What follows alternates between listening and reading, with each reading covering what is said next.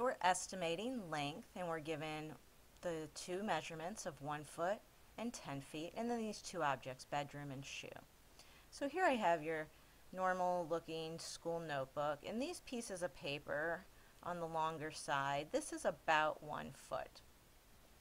So you can think, is that closer to the size of a bedroom or the size of a shoe if you think about a notebook. Then, if we have 10 of these, 10 of these, so you have to picture another one, another one, to get all the way up to 10 of these, 10 notebooks. Is 10 notebooks closer to the length of the bedroom or the length of a shoe?